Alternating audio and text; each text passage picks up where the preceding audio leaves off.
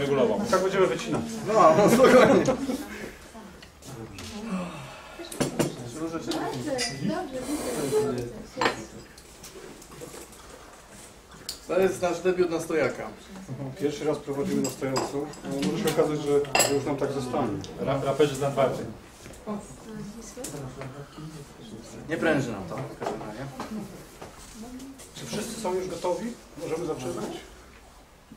Tak, testujemy nowe formy rozluźnienia. Tym razem przeszliśmy do bardziej zaawansowanej formy rozluźnienia poprzez zastosowanie większej ilości mięśni w stanie y, funkcjonującym, które by się w tym czasie rozluźniały. Czyli? Nasz, do pozycji stojącej. Ten zwrot y, y, pod tytułem Rozluźnij tyłek, który stosujemy zawsze w medytacji, jest kluczowy w ogóle, jeśli chodzi o podstawę rozluźnienia podstawy. Jest teraz, uznajemy się za, Za rozluźnienie, tak. Mamy to nieco wyższym stopniu. Jest nam niezmiernie przyjemnie gościć Was dzisiaj, będzie wyjątkowo konkretnie. Y, Tytuł dzisiejszego y, spotkania pochodzi z, z fizyki. E, Z fizyki ciał em, kosmicznych, jak zwał, tak zwał. Jeżeli jakiś fizyk to ogląda, to niech mi wybaczy mój dyleta- dyletantyzm, jeżeli chodzi o wiedzę fizyczną. Tak. Natomiast y, będziemy dzisiaj mówić o tak zwanych punktach wibracyjnych. Libracji. Libracyjnych. Tak. Nie wibracyjnych, wibracyjnych. Em, y, W skrócie polega to na tym, że między y, dwoma ciałami, które generują jakąś grawitację, występują punkty, w których zachodzi coś takiego jak stabilizacja energii. I ja o tym będę mówił po tabelce. To jest tylko taki sygnał do tego, że, że o tym się będziemy y, mówić. Y, Zaczniemy jak zwykle y, od tabelki. Kto jest pierwszy raz na tym spotkaniu, to ja może, może wyjaśnię, o co chodzi, jeżeli chodzi, jeżeli chodzi o tabelkę. Mianowicie tabelka to są trzy punkty, które stanowią kręgosłup naszego przekazu. One składają się z trzech słów. Każde z tych słów coś znaczy. Nasze trzy podstawowe punkty libracyjne przekazu. Tak. No. I y, zazwyczaj spotkania zaczynamy od omówienia tabelki. Zawsze mówimy o tym samym w inny sposób. I dzisiaj Staramy się mówić tak samo, ale wychodzi zawsze inaczej. Również dzisiaj będzie to powiedziane w inny sposób.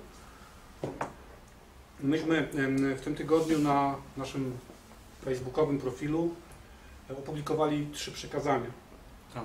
Pierwsze przykazanie mówi o tym, że jest tak, jak myślisz, że jest. Drugie przykazanie mówi o tym, że y, wszystko może się zmienić, zmienić w każdej chwili. Y, I trzecie przykazanie mówi o tym, że istnieje tylko miłość. I- Oraz nie będziesz porządny. Aha, Będziesz porządny. Będę, zawsze. I teraz w kontekście tabelki omówimy Nie jestem każdy z tych trzech y, punktów. Nie wiem dlaczego przy, przyplątała się cyfra 3, ale już chyba tak zostawię. No, Matrix, Trinity. Zresztą jeżeli chodzi o te punkty libracyjne, to też będziemy mówili o trzech, o trzech elementach. Tak, to też ciekawe, że one są trzy. A żeby zabawnie myśmy punktów libracyjnych nie wymyślili. Y, Ja myślałem, że Andrzej to wymyślił.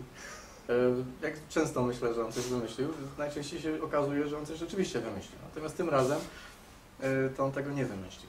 To znaczy w jakimś sensie matrixowym, tresury Matrixa, to można byłoby uznać, że on to wymyślił. Ja też zresztą. Ponieważ to istnieje i powstało i pasuje jak w paszcze strzelił akurat do dzisiejszego spotkania. Natomiast y, w jakimś szerszym kontekście i y, paradoksie cudu materializacji, jaki odbywa się w Matrixie, to tak sobie wymyśliliśmy, że to nie my to wymyśliliśmy. Nam to po prostu pięknie podeszło. Więc teraz y, płynnie przejdziemy do, e, do przekazu tresury Matrixa. Ja dzisiaj zacznę może od wyjaśnienia paru kwestii. Y, I tutaj próbujemy przekazać ludziom informację o tym, że można na świat spojrzeć z innej perspektywy. Zazwyczaj większość ludzi patrzy y, na świat z perspektywy żaby, czyli wygląda to w taki sposób, że wydaje nam się, czy- czyli tej żabie wydaje się, że wszystko dookoła ma na nią wpływ i ona jest zależna od wszystkiego, co wokoło się dzieje. E, I to jest taka perspektywa troszeczkę bycia w studni, gdzie my nie mamy wpływu na to, że jesteśmy w tej studni i musimy się do tego przyzwyczaić i w taki sposób odbierać to życie, ten świat, tych ludzi wokół nas, e, jak e, nam pozwala na to rzeczywistość. Natomiast tresura Matrixa uczy innej perspektywy spojrzenia na świat, a mianowicie takiej, że to my jesteśmy centrum naszego świata I wszystko, co się dzieje w naszym świecie, zależy tylko i wyłącznie od nas, a przede wszystkim od tego, co myślimy. Ponieważ y, w świecie tresury Matrixa znowuż trzy obiekty znajdują się, a mianowicie znajduje się twórca, czyli my, znajduje się energia sprawcza, czyli y, coś, co, co, co, co, co, co kreuje y, przestrzeń i znajduje się sama przestrzeń, którą doświadcza sprawca, czyli ten, który myśli. Jak to działa? Świadomość nasza jest sprawcza, jest w stanie wygenerować myśli, Jest inicjacyjna, jest inicjacyjna. zasiewcza, powiedział. Energia sprawcza czyta nasze myśli i w żaden sposób ich nie ocenia. Bezkrytycznie, całkowicie. Ona bierze te myśli jako intencję tworzenia. Czyli jeżeli człowiek się czegoś boi, to ta energia sprawcza dostarcza mu tego, czego się boi. Bo ona myśli, że on tego chce. Jeżeli człowiek czegoś pragnie, to ta energia mu to dostarcza, ponieważ ona myśli, że ten człowiek tego chce. I mu to dostarcza. Tak wygląda perspektywa patrzenia na świat przez ten nasz przekaz, przez, y, przez to, co myśmy nazwali tresurą Matrixa. I teraz w kontekście tego, co powiedziałem, spróbujmy pochylić się nad tymi trzema słowami tabelki. Andrzej, bardzo ciekawy trend. Tresura Matrixa polegająca na tym, mm, dlaczego tresura? Ponieważ treser, który pracuje ze zwierzęciem, jest od tego zwierzęcia często wielokrotnie mniejszy, bardziej bezbronny. Wszystko, co mm, stanowi jego przewagę nad zwierzęciem, to jest fakt wiedzy o tym, o czym to zwierzę nie wie. Zwierzę jest czystą, nieświadomą aktywnością. Jest y, jak koń, który może wyrwać, y, przekryć lejce, wyrwać, y, każdy, kto jeździł konno wie, że koń może z łatwością człowieka stratować i zrzucić w każdej chwili, w każdej dokładnej chwili. Jedyna sytuacja polegająca na tym, że on się daje ujeżdżać, jest fakt, że on wierzy w to, że e, ten człowiek jest od niego silniejszy. I polega na, temat na poskromieniu na tym, że przestrzeń, która jest nieświadomością, ale jest w pełni kreacyjna i twórcza, jest y, w pełnej komunikacji z wierzącym, a całkowicie w swoje siły y, centrum świadomości, który symbolizuje człowiek. I to nie chodzi o to, żebyśmy byli humanocentryczni i że chodzi o to, że tylko ludzie są inteligentni na tej ziemi, czy cokolwiek. To na miejscu może być, nie wiem, ośmioręki kosmita. Lub może być sytuacja odwrotna, może niedźwiedź jest inteligentna, człowiek jest idiotą, zwierzęciem czystym, prawda, masą, która tańczy, z niszczycielską siłą. Chodzi tylko i wyłącznie o symbol tego, że świadomość, świadom, uświadamiająca sobie tego, że jest twórcza poprzez fakt, że jest świadoma, ma wpływ na całą moc, którą ma do dyspozycji, a nie tylko ten mały wyrąbek, do którego się przyzwyczaiła widzieć jako studnię tej y, żabiej rzeczywistości. I stąd tresura. Y, Bo treser jest silny faktem, że w siebie wierzy, a nie faktem, że jest większy od lwa. I na tym mniej więcej polega odwrócenie perspektywy. Niby y, kwestia samej gry, niby tylko punkt, lub, ulubiony cytat sceptyków, tylko zmiana punktu widzenia. Natomiast kolosalna różnica w y, finalnym rezultacie. Tak naprawdę nie spotkałem się jeszcze z sytuacją, żeby lew wydresował tresera. Niezależnie od tego, jak bardzo miałby do tego kwalifikacje. Aczkolwiek może go zjeść. Może go Jeżeli treser mu na to pozwoli, albo jeżeli się będzie bał lwa i to autentycznie tak y, może się mu- odbyć. będzie Jak mu tak- nie pozwoli, to też go może zjeść. Jeżeli treser będzie wierzył w to, że y, lwa wytresuje, to lew y, będzie wytresowany. Tak naprawdę dzieje się to, o czym myśli treser. Lew jest tylko narzędziem w rękach energii sprawczej. W sytuacji, gdy treser jest zjadany wbrew własnej woli, to jest sytuacja, gdy treser mm, dopuszcza sytuację, w której jest zjadany wbrew własnej woli. Rozumiem. Stworzył to. Stworzył. Sam to stworzył. Y, No i teraz cóż, pierwsze słowo, pierwsze słowo tabelki to jest miłość. E, Tak. W tresurze Matrixa miłością nazywamy stuprocentowe zaufanie do samego siebie. Bo tylko wtedy będziemy pewni i spokojni e, o to, co energia sprawcza nam e, dostarczy. Bo w momencie, kiedy my mamy jakiekolwiek e, uwagi w stosunku do swojej osoby, do swojej świadomości, do swojej myśli, to te, te uwagi właśnie zostaną zmaterializowane i zostaną nam dostarczone. Dlatego też pierwszym przykazaniem, czy pierwszym, pierwszą sentencją, którą myśmy opublikowali w tym tygodniu na Facebooku jest jest tak, jak myślisz, że jest. Czyli w momencie, kiedy myślisz, że jest źle, to to źle natychmiast się staje i jest materializowane. Jeżeli wierzysz w 100% w to, że jest dobrze i wszystko, co się dzieje, dzieje się po to, żeby tobie było lepiej, albo żeby było jeszcze lepiej niż jest, to tak też jest. To jest troszeczkę przewrotne sformułowanie, ale dokładnie, gdybyśmy się nad tym zastanowili, każdy z Was, to każdy z Was dojdzie właśnie do takiego wniosku, że jest dokładnie tak, jak myślisz, że jest. No zwróćmy uwagę, zawsze celność wszystkich wydarzeń. Absolutna celność. Jak jesteśmy szczęśliwi, to trafia w nas dosłowna celność tego, że jest tak chcieliśmy być szczęśliwi. No, inaczej nie bylibyśmy szczęśliwi. A jeżeli nagle jesteśmy totalnie gdzieś tam z, stratowani sytuacją, to jesteśmy stratowani w takie punkty, nigdy albo zawsze baliśmy się, że będziemy stratowani, inaczej nie czulibyśmy się stratowani. Sytuacje inne są y, y, średnimi, że tak powiem, w ogóle nie trafiają do nas, nie istnieją dla nas. Najczęściej, jeżeli po prostu ich nie zauważamy. Więc y, trafność przydarzania nam się pewnych zdarzeń to już jest y, sygnał, że obiektywizm jako taki nie istnieje, ponieważ nie jesteśmy w stanie wygenerować nic obiektywnego, będąc centrum świadomości. Tak naprawdę nie jest nam obiektywizm zresztą do niczego potrzebny, dlatego że y, wszelka kreacja zachodzi od tego centrum. To jest zresztą nasz punkt widzenia. Zawsze zapraszamy do polemiki, sprawdzenia innych punktów widzenia. Twierdzimy, że to jest nieskończona ilość wcieleń, można się to bawić. Dlatego to, co tutaj przed chwilą Andrzej powiedział, jest rozzbrojeniem y, wszelkiej dalszej dysputy. Bo jeżeli powiemy, jest tak, jak myślisz, że jest, to możemy się tutaj zagłębić w y, 40 milionów form dysput i one dadzą nam tylko ciekawą formę rozrywki intelektualnej. Nie zmieni to faktu, że każdy z nas będzie miał rację. No to pytanie teraz brzmi, co zrobić z faktem, że wszyscy mamy rację? I tu płynnie przechodzimy do kolejnego punktu. Ja pozostanę jeszcze przy tym słowie miłość. Dlaczego, Lub samym. dlaczego, dlaczego ono jest tak ważne? Ponieważ wyobraźmy sobie dwóch ludzi, a, z których y, jeden kocha siebie bezgranicznie i ma do siebie zaufanie, a drugi y, siebie nienawidzi i cały czas ma do siebie pretensje o to, że jest taki, jaki jest. I teraz spójrzmy na to wszystko z punktu widzenia tej energii sprawczej, która ma za zadanie tylko i wyłącznie ma- manifestować w świecie myśli tych dwóch ludzi. Którą rolę na przykład Wy możecie teraz grać? W tejże przestrzeni. która, która z tych osób będzie doświadczała y, miłości, która z tych osób będzie doświadczała nieszczęścia. Jak bardzo ważne i istotne jest to, jak sami o sobie myślimy, jak sami siebie odbieramy i jak sami siebie opisujemy w swojej świadomości. To słowo miłość w kontekście przekazu tresury Matrixa to jest ewidentne uczucie do nas samych, do samego siebie. I wcale to nie jest egoizm, bo ja kochając siebie nie muszę nienawidzieć innych ludzi ponieważ oni zostali mi dostarczeni przez energię sprawczą za pomocą moich myśli. Tej tak? samej miłości, którą Czyli do siebie kieruje. Jak ja mogę ich nienawidzić, skoro ja sam ich sobie dostarczyłem? No właśnie. To jest bardzo istotne, żeby zrozumieć, jak działa miłość do samego siebie w stosunku do innych ludzi, których my spotykamy na, na naszej drodze. I tym sprzężeniem zwrotnym otrzymujemy tak naprawdę to y, w swoim wyniku naszego działania, co żywimy do siebie samych. Czyli y, ktoś by mógł, ja na przykład, polemizując w tej chwili z Andrzejem. Trzeba tam.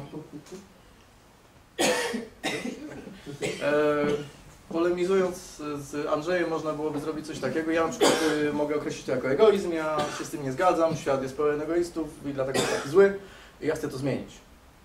I zaczynam od autonegacji, zaczynam od, od y, y, próby skreślenia mojego własnego dobra, próby powiedzmy sobie ja potem, jak zostanie trochę, już od razu stwarzam sugestię, że dobra jest niewiele i ja tak naprawdę mogę sobie uszcząć na końcu, jak jakieś ukruchy zostaną. Przy tym samym y, obaj, obaj dostajemy informację zwrotną od przestrzeni. Obaj y, chcemy pomóc, obaj dostajemy przedmioty pomocy, czyli ludzi, z istoty inne, zwierzęta, komukolwiek można by pomóc. Z tą jedną różnicą, że człowiek, który siebie kocha, dostaje sytuację, w której y, jest skuteczny. Bo miłość jest y, stanem bycia na miejscu, więc co tu może być nieskutecznego? Dostaje sytuację, w której przestrzeń odpowiada mu natychmiast z ludźmi, którym on może pomóc. Ponieważ jest to sytuacja harmonijna. On obdarza siebie akceptacją, a więc przestrzeń dostarcza mu sytuacji, w której on jest akceptowany. A więc dostarcza mu, po, jeżeli powiedzmy nie jest egotycznie nastawiony, dostaje ludzi, którym pomaga w sposób skuteczny. Ja natomiast jestem do siebie nastawiony na przykład w tym przykładzie polemicznie, niekoniecznie siebie lubię. Dostaję sytuacje, w których dostaję taki odzew. Kupa ludzi potrzebuje ode mnie pomocy, natomiast oni są albo niezadowoleni, albo ja jestem nieskuteczny, albo tak naprawdę powinienem robić to lepiej, albo najlepiej, żebym się w ogóle zamknął, a jak się zamknę, to tym gorzej, bo przecież nic nie robię. To są te miliony zapętleń, które ładujemy się w tak zwanych altruistycznych działaniach. Zrób coś, lepiej tak nie, tak masz robić, lepiej nic nie rób. Albo y, no, pomóc temu, pomóż tamtemu, dlaczego nic nie robisz. Pełna frustracja, na końcu, y, nie wiem, nasz Samarytanin się wiesza. Co jest finałem postępującej tego typu mentalnej postawy, wyparcia siebie samego. Mówienie sobie, że myślenie o sobie jest złe, że lubienie siebie i kochanie siebie jest złe. Złe, ocena. Przestrzeń nie ma pojęcia, co to znaczy zło. To ja jej daję sygnał, że w moim świecie, w moim subiektywnym kosmosie to jest coś złego. I ona, aha, no dobra, okej, kopiuj wklej. I przestrzeń robi Ctrl-C, Ctrl-V. Ja dostaję w Matrixie taki zwrot, gdzie wszelkie sytuacje, w której ja już nie mogę wytrzymać, bo ja stworzyłem sobie sytuację dyskomfortu i nagle potrzebuję odetchnąć i nie karmię wszystkich, tylko raz biorę łyk. Jestem za to natychmiast skazywany. Jestem natychmiast oceniany. Łapią mnie za rękę. A mówiłeś! A w moim świecie przecież jest herbaty ograniczona ilość. Tylko tyle, ile mogę dać inne. Dla mnie nie ma.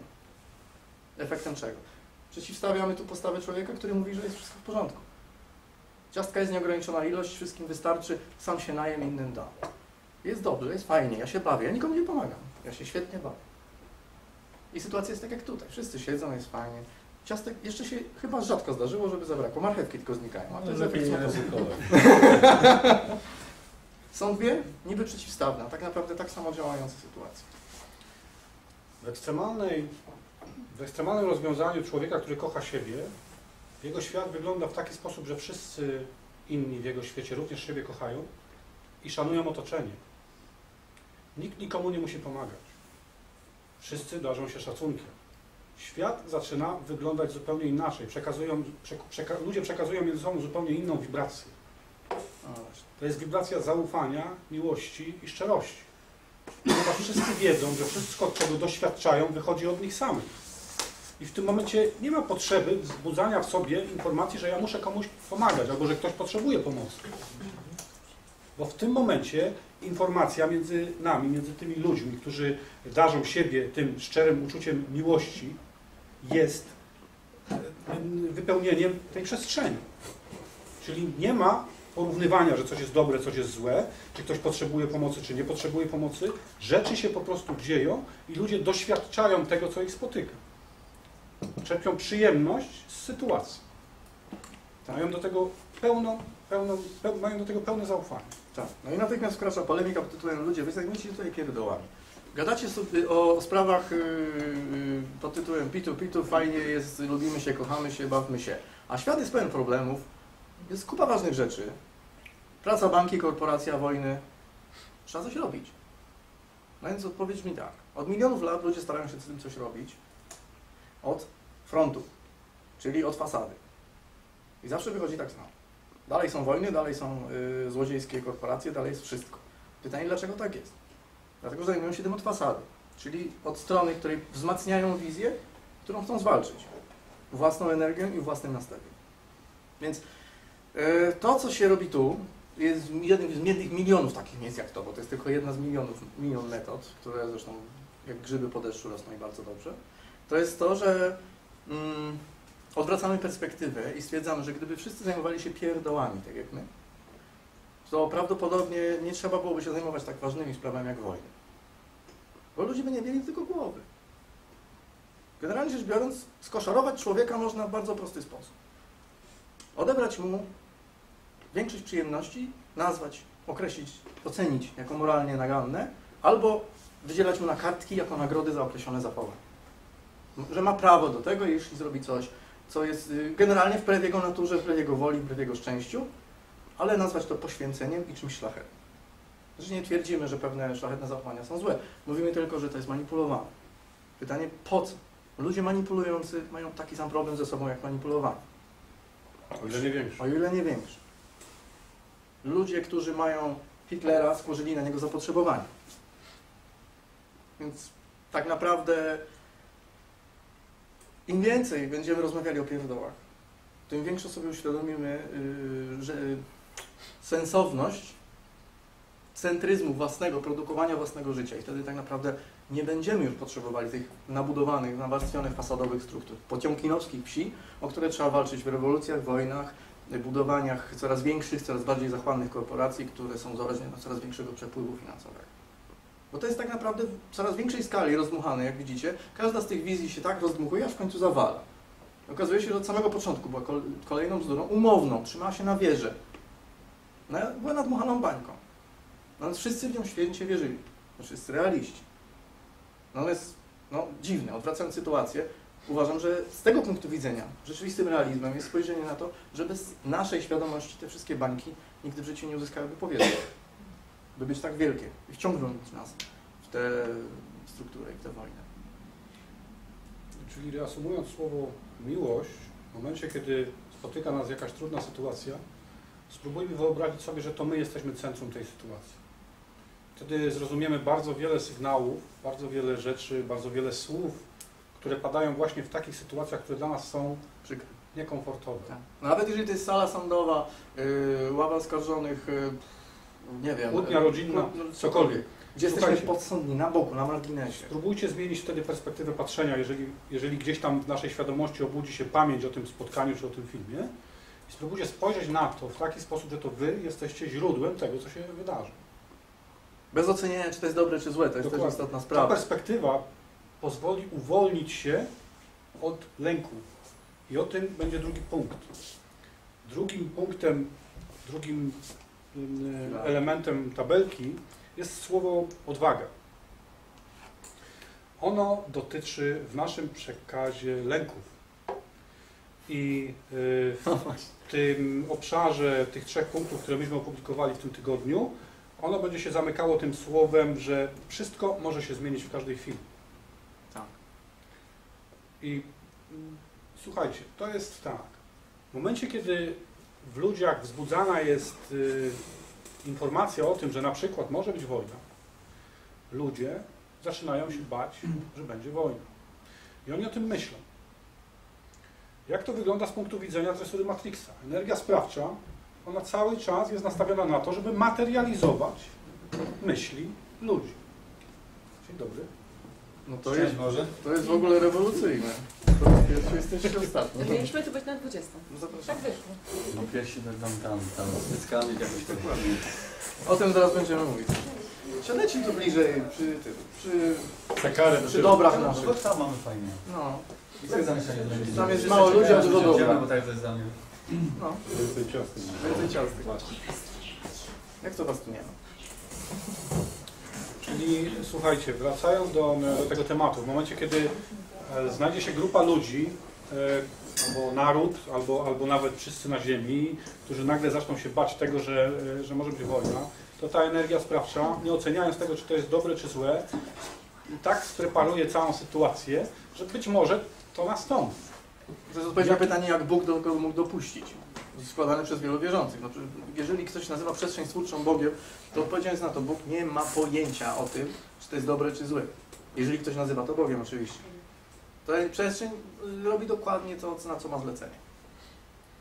E, I teraz pytanie, e, jak z tym sobie poradzić, tak? Co z tym można zrobić? Dlaczego my, my o tym mówimy? Dlaczego mówimy, że wszystko może się zmienić w każdej chwili? Nawet tak trudna i brutalna sytuacja, jaką ja przedstawiłem, że wszyscy ludzie na świecie boją się wojny, tak? I energia sprawcza, e, no, mówi tak, no dziwne życzenie, no ale muszę je spełnić, tak? Klient nasz pan. Jest nasz Pan.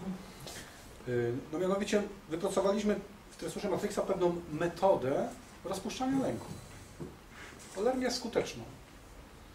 Y, I polega to właśnie na tym, żeby zaakceptować lęk, czyli dopuścić do swojej świadomości e, myśl, że to, czego się boimy, może się zdarzyć. Tak, może być wojna. Okej. Ja dopuszczam to do swojej świadomości. Nie działam na zasadzie, żeby tylko jej nie było, tylko mówię, dobrze, niech będzie, jeżeli ma być. W tym momencie przestaję dawać energię temu lękowi. Ja przestaję się tego bać poprzez zaakceptowanie. No, to jest jedyna droga. Większość ludzi mówi tak, ja nie, będę, nie powiem tego, że chcę, żeby była wojna, bo to jest afirmacja. I to na pewno się stanie. Nie powiem tego, nie ma siły, żebym to powiedział, bo wtedy to się stanie. Tak? Już mówi to mówiąc o tym. Unikając tego, cały czas o tym myśli. Od razu się tego boi. My mówiąc o odwadze, dlatego to słowo jest tak bardzo ważne, odwaga. Mówiąc o odwadze, mówimy o tym, w którym, kiedy człowiek rze- rzeczywiście boi się tego, że będzie wojna, i mówi dobrze, zgadzam się na to, dopuszczam to, że mogę się bać tego, że będzie wojna. Świadomie, z całym przekonaniem i z całym przerażeniem. Słuchajcie, my to musimy poczuć, bo to musi poczuć nasz organizm, nasz mózg, nasza świadomość i nasz duch. My musimy się autentycznie tego przerazić i to zaakceptować. Wtedy to zadziała. Ktoś by podszedł z punktu widzenia bankiera i powiedział, no dobrze, ale co, no dobrze, co ja tracę na tym, że ja to przyjmę, a co ja zyskuję? Ja powiem, no zróbmy mały zakład Pascala w wersji tresury Matrixa bez Boga na górze. Każdy sobie go wymyśli, jeśli chce. I powiedzmy sobie tak, co tracisz, jeśli w to uwierzysz? Nic. Jeżeli zaakceptujesz już teraz sytuację, że nie masz na nic wpływu i wojska wkroczą, tak czy siak, czy tego, co wierzysz, czy nie, to nie tracisz nic, absolutnie nic. Natomiast spróbuj. A jeżeli nie ogarniasz takiej skali, takiego zdarzenia jak masowy, nie wiem, masowe ludobójstwo, to zajmij się zdarzeniami skali, które ogarniasz, czyli na przykład y, wiecznie zatkany zlew. Albo y, kłótnia, konflikt, który jest między jednym człowiekiem a tobą, a niekoniecznie masami. Cokolwiek, co jest w zasięgu twojego działania i spróbuj. Słuchajcie, ja Wam pokażę to na trochę innym przykładzie. Wyobraźmy sobie taką sytuację, w którym w tej chwili w każdym kraju w Europie wychodzą ludzie na ulicę z transparentami chcemy wojny i idą do rządu. Tak. Chcemy wojny! Chcemy wojny! Totalnie, Chcemy... absolutnie. Co robią rządy wtedy? Mówią, my tylko żartowaliśmy. Wytrącamy im y, z ręki y, pałeczkę, tak? No, no, ludzie się nie boją. Po co, po co nam wojna, tak? Chcą wojny. Tak. O co chodzi? Postawcie się y, w tym momencie w, na miejsce tych ludzi, którzy wychodzą z takimi transparentami, czyli de facto my, którzy mówimy ok, zgadzam się na to, niech się stanie, nie będę się tego bał. Właśnie. Nie I ten lęk nas w postaci straszyć. tych rządów, którzy chcą nas straszyć różnymi rzeczami, który, który nagle mówi, kurczę, oni się, tego, oni się tego nie boją. Tak. To po, po co nam wojna? Po co ich, po co ich straszyć? Tak? Tak, no i Po spo, co im odbieramy również też kwestię balansowania przeciwwagą pod tytułem, no dobrze, przeciw komu chcecie wojnę? Ale wszystkim. Nie, nieważne. Nieważne. Chcemy wojny. Totalnej napieprzanki. A was jako pierwszy. Tak jest, tak jest. Każdy z każdym. Natychmiast proszę Zrób, zróbcie to. Tak. Tak. my jesteśmy narodami i ży- życzymy sobie, żeby rządy to zrobiły. Co się dzieje? No. To jest sytuacja, której yy, lęk symbolizowany w tym momencie przez rząd. Zresztą też nieprzypadkowe porównanie, ponieważ władze odległe, gdzieś jakieś surowe, mające nad nami, to jest wszystko materializacja naszego poczucia bezradności, tego, że my uważamy, że świat jest wrogi, zły, czyha na nasze błędy, i, a my jesteśmy małe, kruche łódeczki na tej wielkim nurcie i no, te, jakieś szczęki nas skłapią albo przykryje nas większa fala. No to mówimy do tej fali, no to dawaj. Nie tracimy nic. Tracimy tylko tyle, że możemy się co najwyżej skonfrontować z sytuacją, której całe życie się baliśmy i stracić sytuację, której całe życie się baliśmy, czyli przestać się bać. Osrać się raz ostatni. Ale tak porządnie. Tak, w porządku. Zresztą jeden z najsłynniejszych dowcipów, który mi się ostatnio przypomniał i zrobię to szybko, bo nie mamy tyle czasu. Dobra.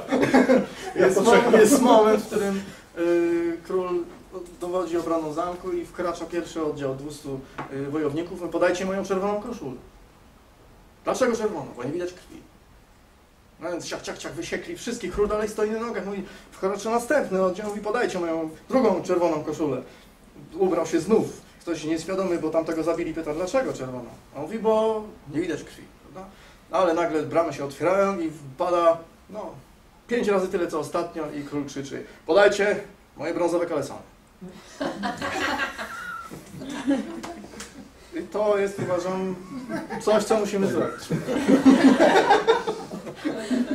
Słuchajcie, dlaczego odwaga i dlaczego w każdej chwili wszystko może się zmienić? Y, Ponieważ jeżeli czujemy jakikolwiek lęk i go zaakceptujemy i powiemy y, samemu sobie, że dopuszczamy do naszej świadomości to, że możemy się tego bać, że to się może stać, to w tym samym momencie natychmiast zmieniamy to, co wydawało się przed momentem niemożliwe do zmiany. Ale dowiemy się tego dopiero, jak to zrobimy. To jest największy trik. Ale autentycznie tak jest. Możemy zmienić wszystko i w każdej chwili. I każdy z nas może to zrobić. Być może są inne drogi. W każdym razie ja nie znam skuteczniejszych. Ponieważ ja nie mówię tu z pozycji tresera, mówię tu z pozycji pierwszego pacjenta. I szczerze mówiąc, lubię ten tytuł i chyba się będę tak tytułował. Patient. First patient. Pierwszy pacjent RP. Pierwszy pacjent TM. Słuchajcie, mam nadzieję, że przybliżyliśmy Wam e, zagadnienie związane z odwagą czym jest ta odwaga i czym jest stanięcie rzeczywiście oko w oko z lękiem, zapoznanie się z nim i zaakceptowanie. To jest bardzo ważne, żeby spróbować to zrobić, bo wtedy dopiero człowiek widzi różnicę, jaka była jego y, emocja przed zaakceptowaniem lęku, co się działo podczas wejścia w ten, wejście w ten lęk z jego świadomością i co się wydarzyło później, kiedy okazało się, że, że nie ma już kogo karmić, Tak. że ten zwierzak już nie potrzebuje jedzenia, bo go nie ma. I że rzeczywiście tak było, że cała sytuacja była kreowana poprzez fakt emocji, że to jest najbardziej absurdalne, co by mogło racjonalnemu umysłowi dojść do głowy. Że sytuacja rzeczywista, dotykalna, materialna istniała dzięki emocji. To nawet psychologowie, którzy żyją z rozbierania emocji na pierwsze czynności, nie dopuszczają takiej prawdy. Oni mówią, załóżmy, że tak jest. A tu się mówi, tak jest. No, ryzyko jest tylko jedno, można to sprawdzić. Nikt nic nie traci. Nikt nie, nie każe nam od razu stawać na parapecie i skakać y, z 11 piętra y, z pełny zaufania, że się nie zabijemy. To jest rzecz, y, której porozmawiamy sobie na 45-tysięcznej tresurze Matrix. Nie, to będzie, to będzie w drugiej części, od razu. Dobrze. E, I to jeżeli chodzi o odwagę. I teraz ostatnie słowo, jakim jest wiara. Bardzo kontrowersyjne, kontrowersyjnie odbierane, ponieważ wiara zazwyczaj kojarzy się z religią, z jakąś, jakimś dogmatem, z, z jakimś poukładaniem sobie pewnych rzeczy y, niewytłumaczalnych albo niewidzialnych. Z pełną eksterioryzacją własnej osobowości, czyli wyrzeczeniem siebie na rzecz jakiejś tam zewnętrznej struktury, którą zasilamy przekonaniem, że tak jest. No to jest dokładnie odwrotnie. Natomiast y, my tutaj wiarę połączymy z tym trzecim przykazaniem, jakim jest istnieje tylko miłość. Czyli zapętliliśmy sytuację do punktu wyjścia. Naprawdę. Czyli y, Orybors. spróbujmy sobie wyobrazić sytuację, w której człowiek ma do siebie pełne zaufanie, w której to sytuacji kocha się bezgranicznie i w której to sytuacji jedyne co ma robić, to generować myśli, które dostarczają mu przyjemności, Wow. satysfakcji. Wow. Do tego jest potrzebna wiara i jeżeli my uwierzymy w taką sytuację, to wtedy dla nas będzie istniała tylko miłość. Nie będzie żadnych dualizmów, że coś jest dobre albo coś jest złe. My będziemy po prostu doświadczać życia takim, jakim jest i czerpać z tego dziką satysfakcję. Do tego jest potrzebna wiara w to, że istnieje tylko miłość. Wiara, która nie jest wysiłkiem. No znów można było powiedzieć, oj, jak ci się coś nie spełnia, to się za słabo modliłeś. To nie jest wysiłek. Wiara to nie jest forma zaparcia duchowego. To ktoś zgasi światło, człowiek myśli, że mu oczy pękły. To nie jest zupełnie ta sytuacja.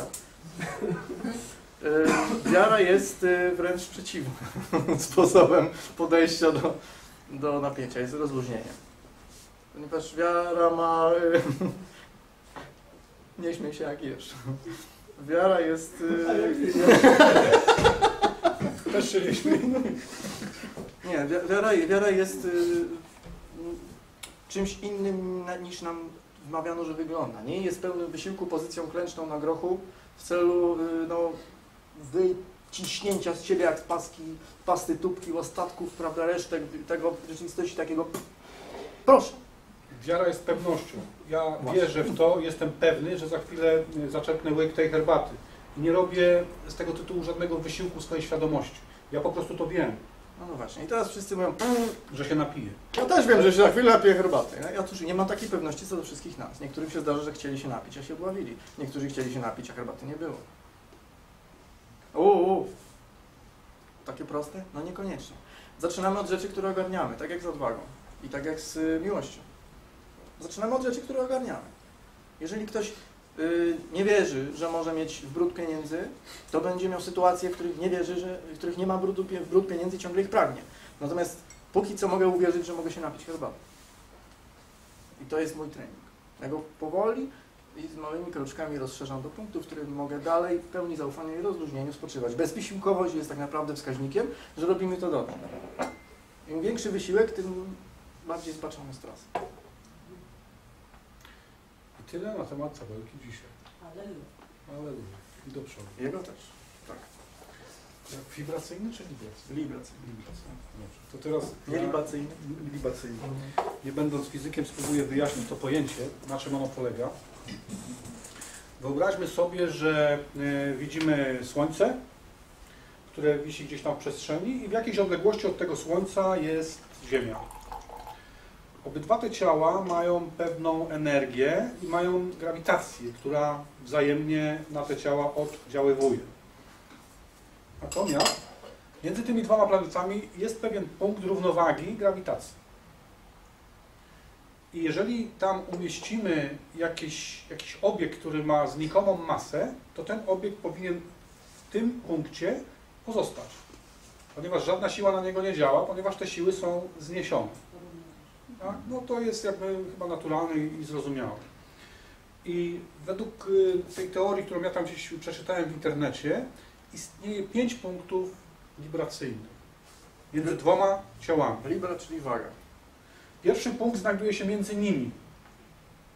Czyli y, to ciało, które my tam umieścimy, ono jest pod wpływem działania obu planet w taki sposób, że, że one i grawitacja utrzymuje ten punkt właśnie w, w, w tym jednym miejscu. Tak wynika z matematyki fizycznej, czyli z obliczeń. Dwa pozostałe punkty znajdują się za tymi planetami. Czyli w momencie, kiedy punkt ten, y, o którym my mówimy, znajdzie się za jedną z tych planet, to będzie pod wpływem y, grawitacji tej, tej, tej planety, przy której jest, ale też częściowo pod wpływem grawitacji tej drugiej planety, która też sięga swoją grawitacją za tamtą planetę, czyli znajdujemy się w punkcie równowagi, bez widoczności tej drugiej planety widzimy tylko tą pierwszą. Czyli jesteśmy pod wpływem siły, której nie, wie, nie wiemy, że istnieje. Nie, nie wiem, że istnieje, dokładnie. To samo jest po stronie tej drugiej planety, czyli Słońca. Też znajduje się tam punkt, w którym możemy umieścić e, jakiś pojazd, obszar czy, czy, czy, czy, czy kawałek materii, który zawiśnie tam w, w nieruchomości. Ale znajdują się jeszcze dwa punkty wibracyjne, które gdybyśmy chcieli je narysować y, w sensie takim, że, że mamy dwa, y, dwie, dwie planety, to te punkty, y, y, te dwa dodatkowe znajdują się mniej więcej w, w, w tych dwóch punktach w podniesieniu do tych dwóch planet, czyli nie między nimi, a troszeczkę przesunięte, ponieważ na te dwie planety działają również siły z zewnątrz. I te punkty są niestałe, one nie, nie, nie mają konstansu, nie są w kropce, tylko raczej są pewnymi obszarami, że jeżeli tam wpuścimy jakiś pojazd, to on krążąc tam będzie również w pewnej równowadze grawitacyjnej pomiędzy tymi dwoma obszarami. I tyle, jeżeli chodzi o tą fizykę kosmiczną, astronomiczną. Ja chciałbym, żebyśmy sobie teraz wyobrazili taką sytuację, w której Słońce jest naszym ciałem, Ziemia jest naszą duszą, Świadomość. duszą, nie, nie świadomość. Świadomość jest tym statkiem kosmicznym. A. Teraz spróbujmy sobie wyobrazić taką sytuację, w którym wykorzystujemy punkty wibracyjne do tego, żeby osiągnąć równowagę, czyli balans, czyli to, do czego każdy z nas próbuje dążyć. To, co jest tak naprawdę e, marzeniem każdego z nas, żeby mieć e, spokój e, ducha, czyli taki stan, w którym my jesteśmy bezpieczni, pewni, żyjemy w miłości i mamy, mamy pewność tego, co się dzieje. Wiemy, gdzie jesteśmy i z czego korzystamy, na czym się opieramy i, i z czego funkcjonujemy. W kontekście tego, co powiedziałem przed momentem, e, istnieją, e, istnieje sześć stanów świadomości człowieka. Pierwszy stan to jest taki, kiedy mamy te, te dwa ciała, e, których je- jedno jest ciałem fizycznym, drugie jest duszą, a nasza świadomość, nie mając pojęcia ani o jednym, ani o drugim, krąży sobie między tymi dwoma punktami w taki sposób, że, że dostaje takiej siły, takiej, takiej mocy, że my nawet się nie zastanawiamy, że te, dwa, te, dwie, te dwie rzeczy są. I tak żyje większość ludzi. Oni się nie zastanawiają, tylko po prostu włączyli silniki i zapierniczają między tymi y, dwoma, dwoma y, planetami w taki sposób, że oni, że, że oni nawet nie zatrzymają, żeby zobaczyć, że to jest. Tak. Nie mają świadomości tego, że mają ciało, nie mają świadomości tego, że mają duszę. No i tu nie obrażając nikogo, możemy sobie dwa przykłady przytoczyć. Niedziela, kościół i supermarket. Mamy dwa bieguny i mamy podobny pęd i tu i tu. Nie obrażając nikogo, bo oczywiście można iść świadomy do kościoła i świadomie po zakupy. Zupełnie całkowicie. Ja mówię tylko i wyłącznie o sytuacji, w której ktoś wstaje rano i odruchem leminga nerwowo szuka portfela i idzie tak, Bo niedziela. bo niedziela, i idzie tak do kościoła, żeby po drodze był supermarket, albo odwrotnie. I to jest sytuacja, w której e, ludzie nie, nie mają świadomości tego, że istnieją te, e, te, te dwa ciała, które tak naprawdę mają wpływ na niego, bo oni żyją w grawitacji tych dwóch ciał. Tylko poruszają się w taki sposób, że e, nie, nie mają świadomości tego. Chociaż je widzą, on widzi słońce, widzi ziemię, widzi, że, go, że, że, że mija, ale tak naprawdę jemu nie zależy nawet na tym, żeby odszukać jakikolwiek stan, w którym on czuje się bezpiecznie, pewnie i czerpie z tego przyjemność, satysfakcję. szósty Matrix. Czyli po pierwsze kościół, bo y, wszyscy tak robią. Po drugie supermarket, bo trzeba wydać pieniądze, które się zarobi. Bo co będzie, jak nie kupię? No trzeba jeść. Kowalski pojechał. I to jest ten pierwszy y, stan, w którym może znaleźć się świadomość. Czyli bez poszukiwania punktów wibracyjnych. Krąży sobie między tymi dwoma y, planetami, wykorzystując ich grawitację po to, żeby lecieć przez przestrzeń w sposób y, zupełnie przypadkowy. A raczej pozwalając sobie na, na generowanie przypadku, bo to jest nieprzypadkowe, że on się tak porusza. Nie ma w tym w ogóle przypadku, natomiast y, wrażenie, które on otrzymuje, jest całkowicie przypadkowe. Jest, wrażeniem absolutnej randomalności. To jest, y, mówię, to jest cyrkulacja Leminga, najzwyczajniejsza w świecie. Drugi przy, przy- przypadek e, rozpatrzymy e, takiej sytuacji, kiedy nasza świadomość znajduje się w punkcie libracyjnym pomiędzy tymi dwoma ciałami niebieskimi.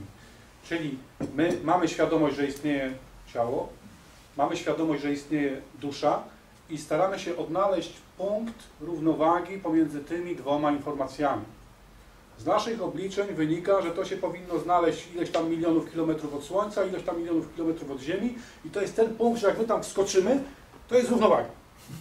I jest pełna ekstaza. Po- Powinno być, ale dlaczego nie ma? Tak. Jestem w tym miejscu. No i co? Dbam o ciało, cały czas chodzę, chodzę, chodzę na, na, na, na, na siłkę, tak? I czuję się świetnie. No i, i medytuję, tak? Czyli no, codziennie mam dostarczoną energię w postaci takiej, że no, moje ciało, mój, mój duch, moja świadomość jest y, w kontakcie z siłą wyższą i dlaczego to nie działa? Chodzę do supermarketu i mam konkretne półki. Ja nigdy nie kupuję tego, co Kowalski. Ja wiem, co kupić. Chodzę do kościoła, bo się modlę, a nie dlatego, że wszyscy chodzą.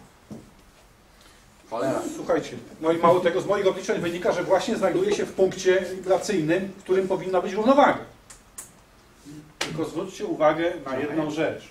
My w tym punkcie pomiędzy tymi dwoma ciałami tak naprawdę widzimy tylko ciało i tylko duszę. Nic poza tym, ponieważ znajdujemy się między nimi. I tylko ciało i tylko dusza ma wpływ na nas.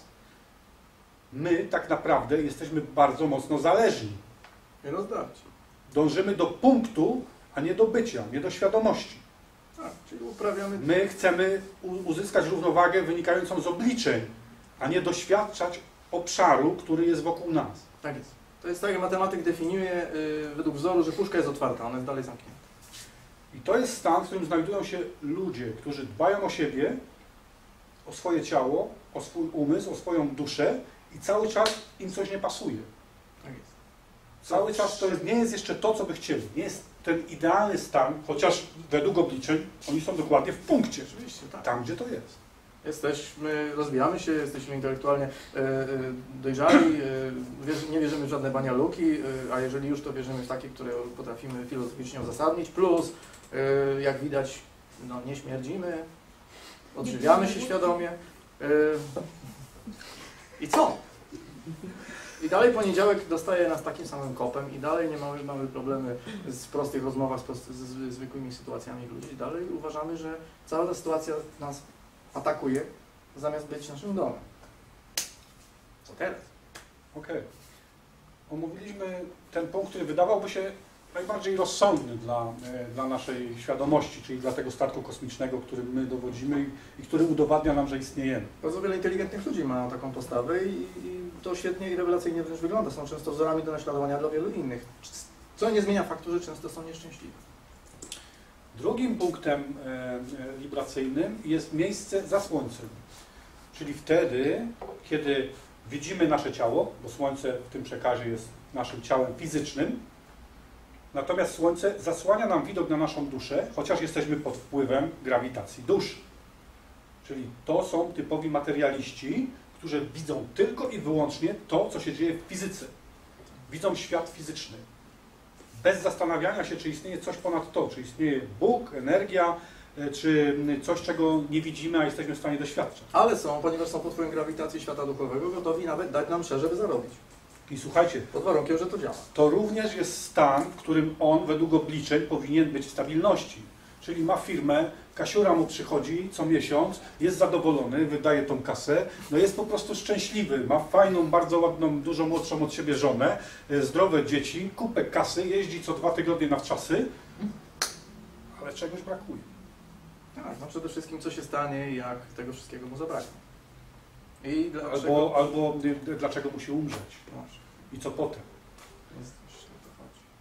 takim ludziom, wbrew pozorom, którym niczego nie brakuje w świecie fizycznym, chodzą po głowie różne rzeczy, ponieważ oni są pod wpływem grawitacji duszy, ale nie widzą jej. Odczuwają deficyt, który sobie sami wygenerowali. Poprzez fakt odnalezienia pozornej równowagi w punkcie, w której nie działają na nich żadne przepięcia. Bo są przecież w jakimś tam bezruchu.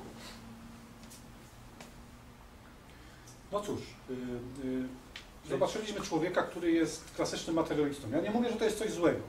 Takie punkty Niczego są nie oceniamy. i są ludzie, którzy tam żyją. Lemmingów też nie oceniamy. Następnym punktem, e, który będziemy omawiać, to jest punkt, który znajduje się za duszą, czyli za tą naszą ziemią, gdzie my żyjemy w pełnym uduchowieniu, cały czas modląc się i wysyłając intencje, będąc w pełnej nirwanie wśród kadzidełek i świec. Nadal Widzimy tylko duszę, żyjemy w ascezie i dla nas żadne materialne rzeczy nie mają żadnego znaczenia. Po prostu mamy to wszystko głęboko w brązowych kalesonach. Dla nas jest istotna, istotne doświadczanie energii, doś- doświadczanie ducha, doświadczanie e, przekazów i e, innych rzeczy. Znajdujemy się w tym punkcie równowagi, który jest za duszą. Czyli my widzimy naszą duszę bardzo dobrze, bo ona się obraca, my ją możemy zanalizować, doświadczyć każdego jej aspektu, ale znajdujemy się również w obszarze działania grawitacji naszego ciała.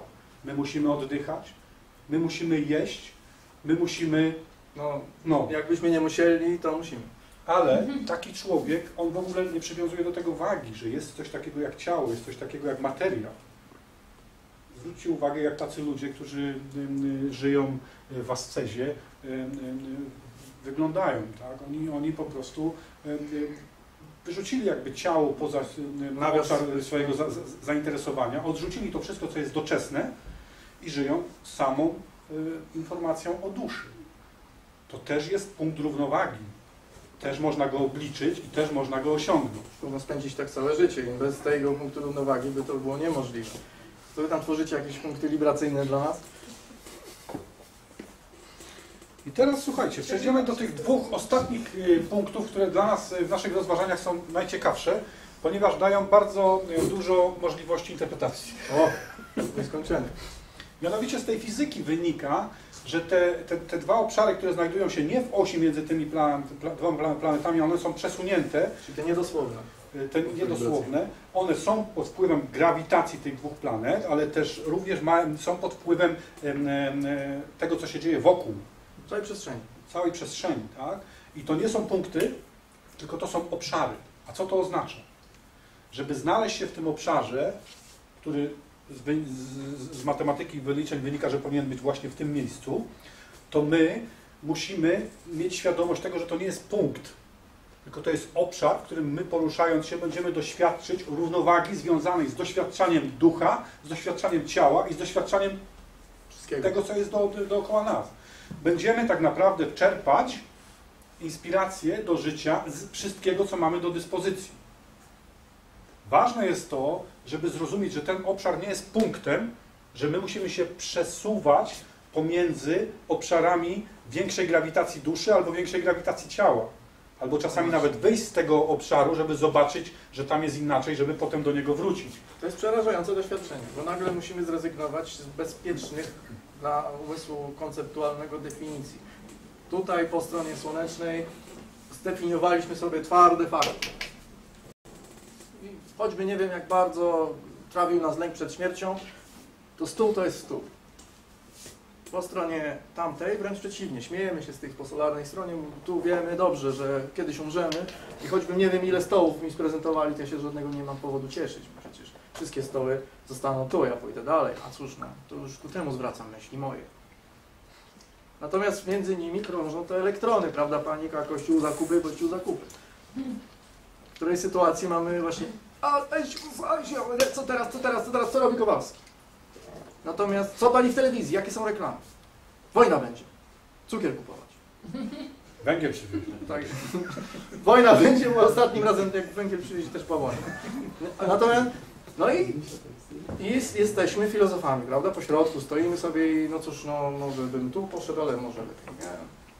No to nie ja. Tu też bym poszedł, ale to nie ja. Słuchajcie, dlaczego e, przyszło mi do głowy, żeby przekazać Wam tą informację o, e, o tych punktach e, libracyjnych? Ponieważ NASA, ta agencja kosmiczna amerykańska, To nasza agencja. właśnie w tych punktach wibracyjnych umieszcza swoje satelity. Z jakiegoś powodu. One tam krążą w tym obszarze. One nie są w punkcie, na jakiejś tam orbicie geostacjonarnej, tylko one tam się poruszają, cały czas będąc w obszarze tego punktu wibracyjnego, po to, żeby mieć wgląd na to, co się dzieje na Ziemi, na to, co się dzieje na Słońcu i mieć wgląd również na to, co się dzieje na zewnątrz. Dlatego doszedłem do wniosku, że jeżeli goście z NASA wymyślili sobie takie prawo punktów wibracyjnych, tam właśnie wstawiają swoje urządzenia, to dlaczego my nie mielibyśmy z tych doświadczeń skorzystać i tam właśnie włożyć naszą świadomość? Po to, żeby czerpać z życia to, co przynosi nam satysfakcję i przyjemność. Żebyśmy sobie mogli z tej, z tej właśnie perspektywy tego punktu, który jest wysunięty trochę dalej, obserwować nasze ciało, doświadczać go, obserwować naszą duszę, doświadczać ich, ale nie być pod ich wpływem, nie być zamkniętym tam w tej e, energii i dwóch grawitacji, tylko mieć do dyspozycji jeszcze coś, co jest poza tym układem. Energię, która jest wszędzie. To, co się dzieje wokół nas. Czyli my będziemy mieli wtedy kontakt również z innymi ludźmi, z innymi planetami, z innymi układami. Tak. Te wszystkie grawitacje, one się przenikają.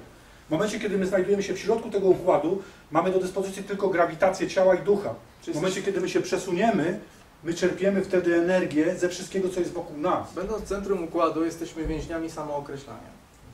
Musimy, czujemy wręcz ciągły nakaz samodefinicji. Czyli rugamy się albo inni nas rugają za złamanie naszych zasad, za niekonsekwencje. W tej sytuacji tak naprawdę wszelkie formy pracy, jakiekolwiek formy praktyki medytacyjnej, która polega na wyzwoleniu umysłu, były często y, robione przez nauczycieli na burzeniu totalnie systemu y, samopostrzegania siebie przez ucznia. Bardzo często właśnie poprzez fakt braku oczekiwań, poprzez burzenie tych oczekiwań. Wielu mnichów zen zresztą oświeciło się, y, akceptując fakt, że nigdy nie doznano świecenia. Na przykład. I teraz słuchajcie, jaka jest konkluzja tego przekazu? Mianowicie, można mieć swoją świadomość w środku naszego życia i być tym życiem, ale można być również świadkiem Własnego życia. własnego życia. W momencie, kiedy my zmienimy perspektywę z bycia w środku i doświadczania tego wszy- wszystkiego pod wpływem energii e, ciała i ducha, w momencie, kiedy my zmienimy tą perspektywę i zaczniemy być świadkiem naszego życia, ta perspektywa pozwoli nam czerpać z tego przyjemność. W momencie, kiedy my tam siedzimy, bierzemy udział w tym i tak naprawdę walczymy z tymi dwoma grawitacjami po to, żeby się utrzymać w tym konkretnym punkcie, który jest tam, gdzie myśmy wyliczyli, że powinien być. Bo to jest ciągła walka w utrzymaniu się w tym punkcie. Tak, stąd oceny, definicje, filozofie, które ciągle zmieniamy. Chodzi o to, a cały czas mając wrażenie, że trzymamy się konsekwentnie jednej. Natomiast kiedy my, my wiemy, gdzie jest obszar tej równowagi, ale to jest obszar, to nie jest punkt, i dopuszczamy sytuację, w którym my możemy być wytrąceni z tej równowagi, ponieważ nie ma konkretnego punktu, w którym powinniśmy być. Jesteśmy pod wpływem i ciała, i ducha, i energii, które są poza nami. My nawet możemy się odwrócić i sobie spojrzeć w drugą stronę. Będąc w tym układzie nie mamy takiej możliwości, ponieważ my jesteśmy za blisko tych planet, żeby mieć jeszcze możliwość obrócenia się i rozejrzenia się dookoła. My widzimy tylko ciało i ducha. No właśnie. I co się dzieje w sytuacji, w której nagle y, po, tak, dopuszczamy sytuację, w której nie podlegamy żadnych z y, konkretnej, definiowanej centrum grawitacji? Nie ma punktu, do którego dążymy. No, dzieje się to, że możemy być wszyscy. Czyli przestaje w ogóle nas interesować, że jesteśmy filozofami świadomymi, wierzącymi lub nie.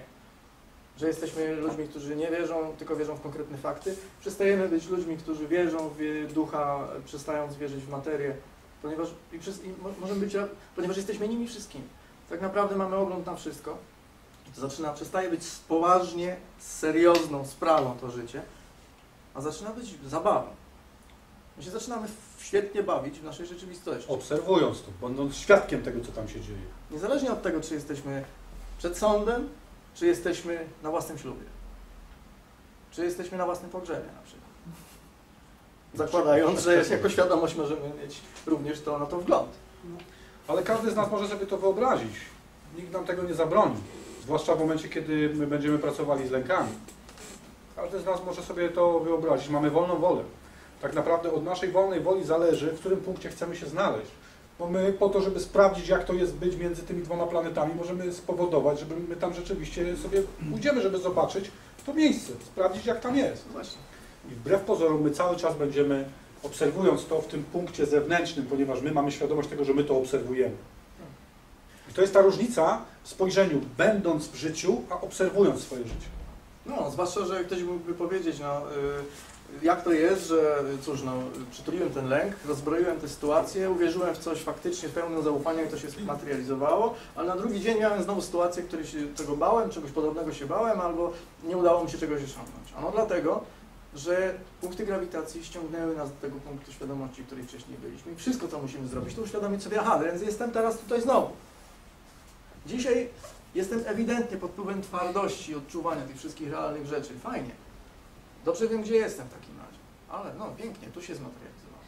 Nagle potem okazuje się, że jesteśmy w stanie nie jeść przez 13 dni i medytować przez 50, no bo mamy taką wenę. To nam się nigdy wcześniej ani później nie uda, żeby było zabawniej. Bo każdy by oczekiwał, że ten rozwój jest konsekwentny i że my będziemy coraz silniej, coraz lepiej medytować, potem lewitować, w końcu się rozpuścimy. Super. Bardzo często jest jedynie tak, że możemy przejść odosobnienie 15-dniowe, podczas którego osiągamy wręcz stany absolutnie yy, kontroli nad wszystkimi zmysłami. Wracamy potem do tak zwanego świata i mamy problem, bo, bo lecą nam śliny na kotleta.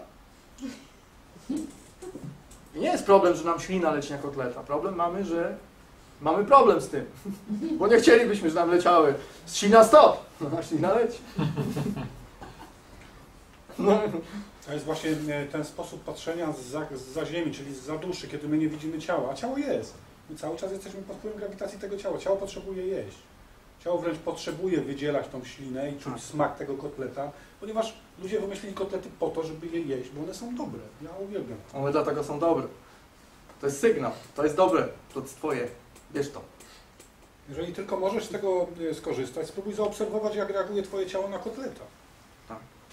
Jesteśmy, nie? Właśnie to jest to. Moment, w którym potrafimy się znaleźć. jeszcze przerwę. No, Jeżeli potrzebujesz się uduchowić, to możesz się nad tym kotletem nawet pomodlić. Tak? oczywiście, że tak. Też jest to dozwolone. Każdy z nas może to zrobić. W tym momencie już taki poświęcony kotlet spożyty i e, poczuty, no dostarcza nam takiej satysfakcji z tego, że myśmy to zrobili. Słuchajcie, jest różnica w, w jedzeniu bez, be, bezmyślnym Pożeraniu. pożeraniu jedzenia, a uświadomieniu sobie na przykład, że ja błogosławię to jedzenie e, po to, żeby je namaścić, a potem je spożyję w pełnej atencji poczucia smaku. To jest zupełnie inne spojrzenie na zagadnienie jedzenia posiłku. Oczywiście, od strony das solarnej każdy kulturysta dobrze wie, że świadomie spożywany posiłek lepiej odżywia mięśnie. I psychologia, to jest bardzo ciekawe, że właśnie jakby to skrajnie nie wyglądało i jedni o drugich nie myśleli, że są idiotami, to podświadomie jedni spełniają metody działania strony drugiej. Osoby materi- silnie materialistyczne yy, zapalają diabłu ogarek w swoim życiu, robią prywatne szamaństwo. Nie wiem, każdy z wielkich yy, materialistów boi się jakiegoś przesądu. Prędzej plus minus zawsze się na coś trafi.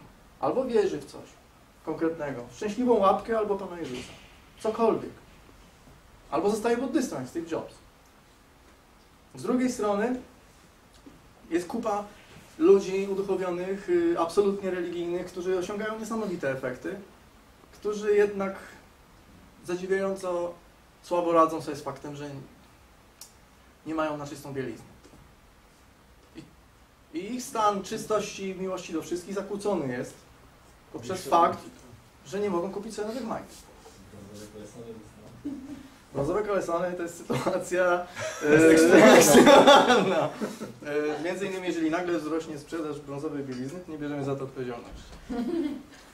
Ale profity można mieć. Porozmawiamy o tym później. Słuchajcie, generalnie przekaz był o tym, żeby mieć świadomość, że y, szczęściem nie jest przebywanie w punkcie równowagi, tylko szczęściem jest zrozumienie to, że my jesteśmy centrum naszego świata i że największym, największą przyjemnością jest obserwacja tego, co, na, co, co nas otacza i tego, co, co doświadczamy, czyli znalezienie się w tym punkcie wibracyjnym, w którym my musimy być w ciągłym ruchu, doświadczając te, tych wszystkich energii, które nas otaczają. No. To jest właśnie naturalny stan naszej świadomości. Najbardziej w tym momencie kontrowersyjne pytanie dla osób znajdujących się w centralnym punkcie grawitacyjnym pomiędzy Słońcem a Ziemią, tak? No to ludzie kochani, powiedziałby taki filozof. Bądźcie konsekwentni. Albo jestem centrum swojego świata, albo jestem ciągłym ruchu. No, odpowiedź y, tegoż grawi- wszechgrawitującego jogina jest taka. A po cholerę wybierać. Nie wiem, może ty czujesz się rozdarty między wyborem. Ja w ogóle nie czuję, że muszę wybierać. Poza tym centrum naszego świata jest tam, gdzie nasza świadomość. Które jest w ciągłym ruchu. Centrum naszego świata nie jest między, dokładnie w połowie drogi między duszem a ciałem, y, ciałem a duszą. Nie. Centrum naszego świata jest tam, gdzie nasza świadomość. I o tym możemy się przekonać na przykład mając świadome sny, albo y, y, w medytacji wyobrażając sobie, że jesteśmy w jakimś pięknym miejscu. Nasza świadomość dokładnie tam jest. I wtedy tam jest centrum naszego świata. Nie między duszą a, ciałem, czyli w tym matematycznym punkcie równowagi. Centrum naszego świata jest zawsze tam, gdzie jest nasza świadomość. I tutaj jest odpowiedź na pytanie, dlaczego akurat nie musimy już generować tak silnie uzasadnionych, pięknych, spójnych i tragicznych filozofii, jak na przykład człowiek jest wiecznie samotny, albo jesteśmy skazani na nieszczęście. Prawda? 14 tomów spisanych na przestrzeni 25 lat przez filozofa, który udowodnił, że jesteśmy z gruntu nieszczęśliwi i to nas tylko czeka. Pytanie, no to, to jest y, jak najbardziej logiczne, tylko że mm, jednocześnie absolutnie niekonieczne. Ponieważ y, to jest punkt widzenia będąc tylko w jednym miejscu ściśle zdefiniowanego punktu grawitacyjnego. Pomiędzy dwoma skrajnymi punktami widzenia, które też są dwoma skrajnymi punktami grawitacji. Wychodząc poza wszystko to, stajemy się wszystkimi punktami grawitacji. Do kupy wziętymi. I w tym momencie, jeżeli nagle jesteśmy tragicznym filozofem, który 25 lat nie wymyślił nic ponad to, że jesteśmy skazani na porażkę, to też jest niezła zabawa dla nas. Tyle, że akurat nie chce nam się takich książek pisać, bo chcemy oszczędzić po kolei samobójców. No, ale może ktoś tego potrzebuje. Jeżeli ktoś myśli, że są samobójcy, to w jego świecie oni są. Pierwsze przekazanie. Tak. Słuchajcie, y, to oficjalna część. Mam nadzieję, że, że przekaz był ciekawy i zrozumiały. Ale właśnie o tym chcieliśmy dzisiaj powiedzieć. O próbie szukania równowagi, która według obliczeń powinna być w tym punkcie i że my znajdując się w tym punkcie nagle doświadczamy takiego zdziwienia, że, że no właściwie to jest ten punkt, ale tam y, czegoś nam jeszcze brakuje do tego A to wszystkiego. jest jeden z najbardziej ciekawych paradoksów y, dotyczących takich zjawisk, że ludzie obsesyjnie poszukujący szczęścia osiągają często największą frustrację, a ci, którzy obsesyjnie poszukują wiecznie równowagi, nie mogą jej za cholerę znaleźć. A bardzo często doświadczają tej harmonii życia i szczęścia w chwili, w której mają to głęboko w brązowych kalesonach. Mało tego, e, kiedy z takimi ludźmi pracujemy i rozpuszczamy w nich lęk przed brakiem równowagi i oni akceptują to, że żyją w, ciągłej, w ciągłym ruchu i w ciągłym wytrąceniu, to nagle zaczynają doświadczać przyjemności z tego, że żyją w braku równowagi. I nagle osiągają równowagę. I nagle osiągają przyjemność z doświadczania swojego życia. Równowaga jest skutkiem ubocznym. Po prostu. To jest mniej więcej tak jak, jak coś, co nam też tak wykwitło ostatnio, że obsesyjne, obsesyjna orientacja na wynik i na rezultat nie daje absolutnie żadnej gwarancji wyniku rezultatu. Daje tylko gwarancję ciągłego próbowania. A więc i braku satysfakcji w związku z tym. Więc mamy do czynienia z rozrostem, rozwojem, rozumianym jako ciągłe próbowanie i zmiany rzeczywistości i ciągłe osiąganie jakichś rezultatów. Rozwój to jest rozwojem tylko z nazwy.